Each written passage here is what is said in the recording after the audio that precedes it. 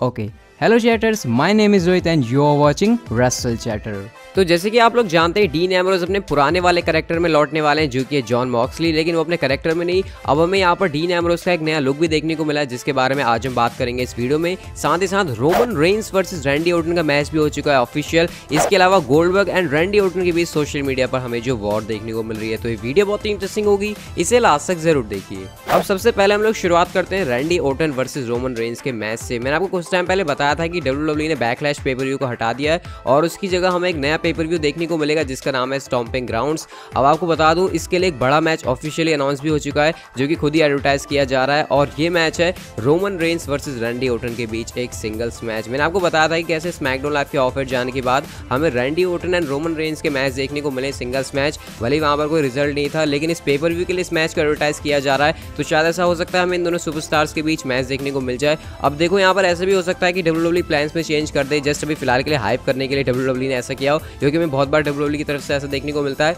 लेकिन फ़िलहाल के लिए अपडेट यहाँ पर यह है कि डब्ल्यू e की तरफ़ से ऑफिशियली अभी वेबसाइट के ऊपर एडवर्टाइज किया जा रहा है Roman Reigns versus Randy Orton के बीच एक singles match and I hope ये मैच चेंज ना हो। अब बढ़ते हैं हमारे नेक्स्ट अपडेट के ऊपर, जो कि जुड़ी है कि सोशल मीडिया पर क्या कुछ चल रहा है Bill Goldberg and Randy Orton के बीच। जैसे कि मैं आपको बता चुका हूँ, ये बात भी कि सऊदी अरेबिया का जो इवेंट होने वाला है, वहाँ पर अब गोल्डबर्ग को ऑफिशियली अनाउंस कर दिया मतलब कि गोल्डबर्ग हमें वहाँ पर किसी एक मैच में रसल करते हुए दिखाई देंगे। लेकिन इस पर एक तरह से मज़ाक उड़ा दिया रैंडी ओटन ने गोल्डबर्ग का, और उन्होंने अपने ट्विटर अकाउंट के ऊपर एक ट्वीट किया और लिखा there goes another two million अब इसका मतलब यहाँ पर यह है कि रैंडी ओटन यहाँ पर यह कहना चाह रहे हैं कि डब्ल्यू ने कैसे अपने दो मिलियन डॉलर फेंक दिए गोल्डबर्ग के ऊपर उनकी एक अपीयरेंस के ऊपर, क्योंकि गोल्डबर्ग वहाँ पर एक मैच हासिल करने आएँगे, और रैंडी ओटन भी इस बात को जानते हैं कि एक मैच में फाइट करने के लिए गोल्डबर्ग को इतने सारे पैसे मिल जा रहे हैं। तो रैंडी ओटन के हिसाब से डब्ल्यू e का शायद ये मूव इतना अच्छा नहीं है, या फिर इतने ज़्यादा पैसे लगाना अच्छा नहीं है। लेकिन इस पर अब रिस्पॉन्ड भी कर दिया बिल गोल्डबर्ग ने और यहाँ पर उन्होंने काफ़ी, आप लोग कह सकते हैं एंग्री और फनी तरीके से रिप्लाई किया।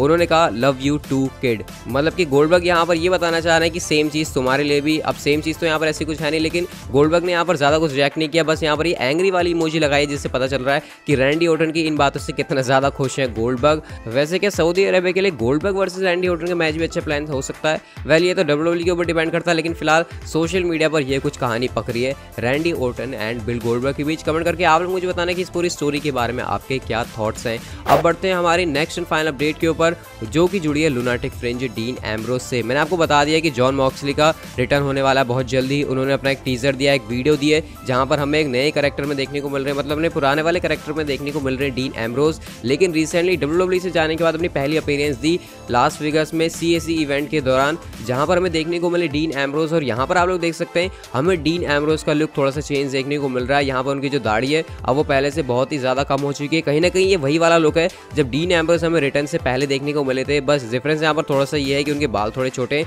लेकिन शायद यहाँ पर ऐसा लग रहा है कि जॉन मॉक्सली वाले करेक्टर के लिए हमें डीन एम्ब्रोस फिर से अपने पुराने वाले लुक में लौटते हुए दिखाई दे सकते हैं, जैसे कि वो काफ़ी टाइम पहले थे, जैसे कि वो डब्ल्यू e में आने से पहले थे और डब्ल्यू e में अपने शुरुआती टाइम में थे। तो आप लोग मुझे कमेंट करके बताना कि इस लुक के बारे में आपके क्या थॉट्स आप लोग यहाँ पर काफ़ी सारे पिक्चर्स देख सकते हैं। और अगर सच में पुराने वाले लुक में डीन एम्ब्रोस लौटना चाह रहे हैं तो हमें ऐसा भी देखने को मिल सकता है कि हमें फिर से लंबे बाल के साथ लोनाटिक फ्रिंज या फिर जॉन मॉक्सली बहुत जल्दी कहीं ना कहीं किसी रेसलिंग इवेंट में बहुत जल्दी देखने को मिल जाए। तो आई होप आपको ये वाली वीडियो अच्छी लगी होगी तो लाइक किए बनाया तो कहीं मत जाना। कमेंट करके आप लोग मुझे अपने थॉट्स बताना कि आप लोग क्या कहना चाहेंगे Roman Reigns versus Randy Orton के मैच के बारे में डीन एमरोस के बारे में। साथ ही साथ आप लोग कर सकते हैं चैनल को सब्सक्राइब और उस नोटिफिकेशन बेल को ऑन भी कर दीजिए, ताकि जैसे ही हमारे चैनल पर कोई भी वीडियो अपलोड हो, आपको तुरंत उसका नोटिफिकेशन मिल जाए और आप कोई भी अपडेट मिस ना कर सकें। So see you guys in my next video